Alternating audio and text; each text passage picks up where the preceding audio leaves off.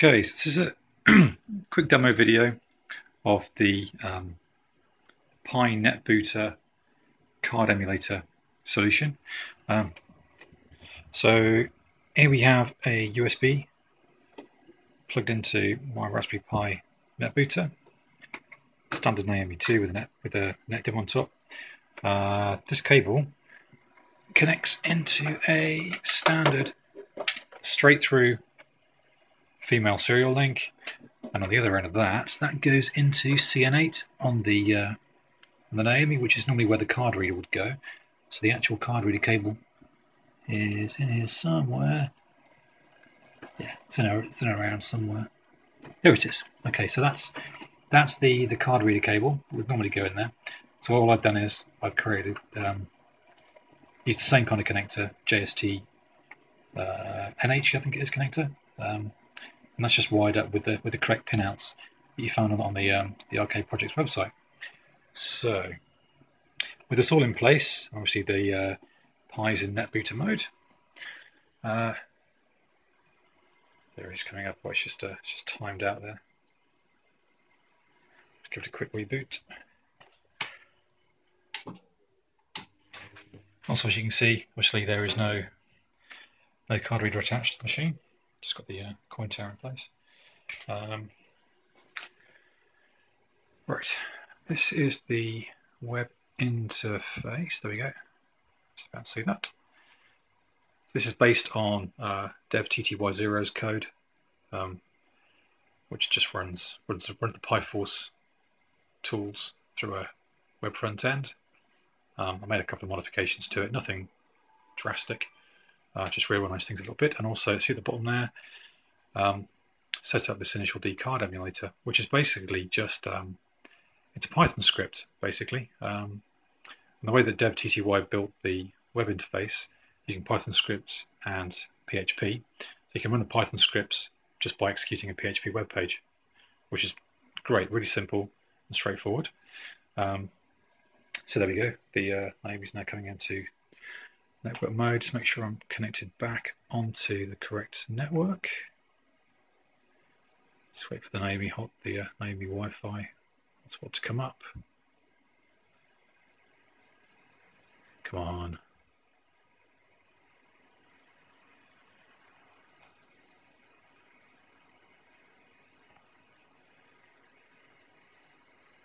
There we go.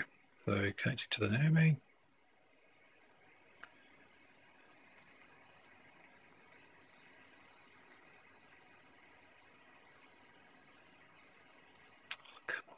Stupid machine. Okay, maybe get it right. So let's just refresh that, make sure we're in the right place. Yep, we're okay. So, so we're now checking network mode. So I want to go to my game list. Uh, I'm gonna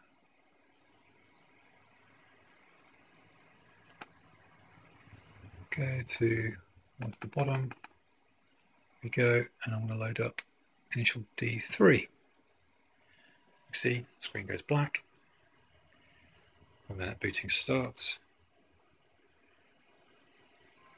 There we go, just wait for that game to load.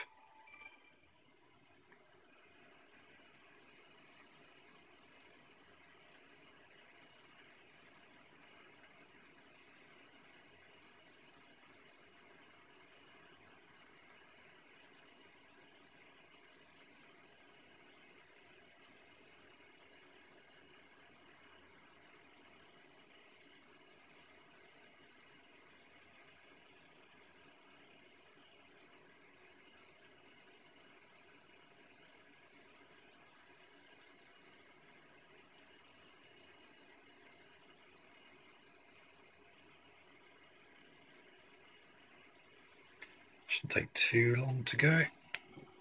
See, let's, let's now load into memory. Reboot. Does the checking memory routine and then it'll go into the game.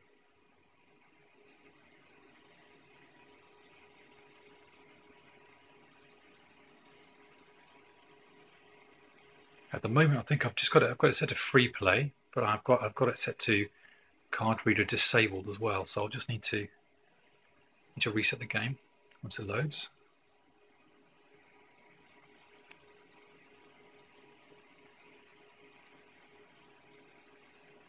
as far as the game's concerned, as far as the Naomi's concerned, um, it does have a card reader attached.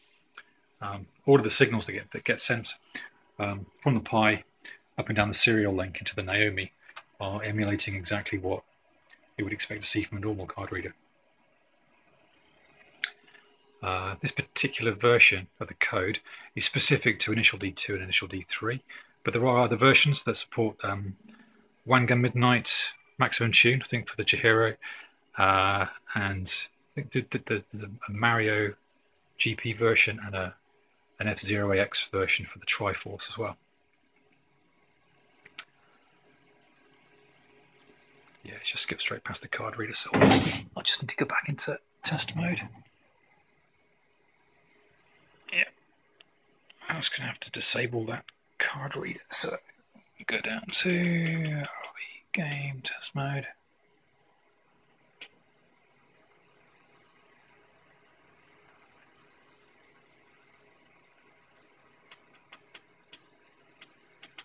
Oh, game assignments, card reader on, exit, exit.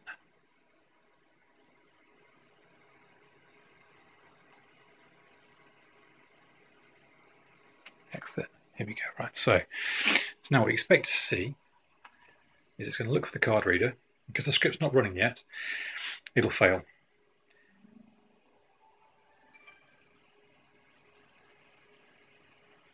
first thing it does is it goes to the check the card reader units. God, it's dusty in here. Here we go. Right, so there we go. So we have a card reader error. So we go into here, the interface. Um, let's go back to the main menu. And then we're going to go into Initial D card emulator.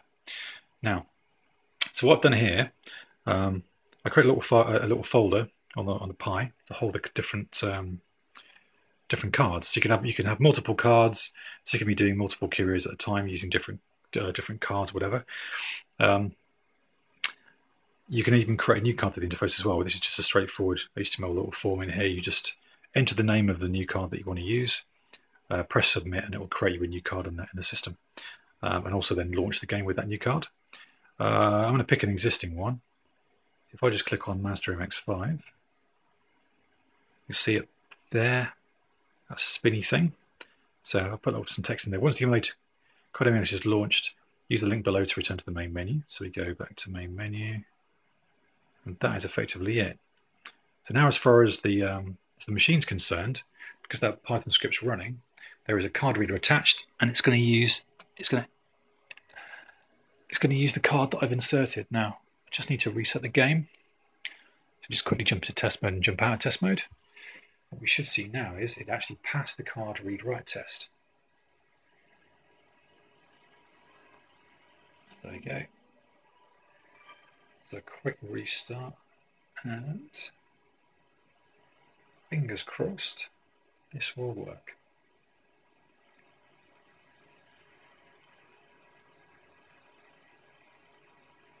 there you go. Takes a little bit of time.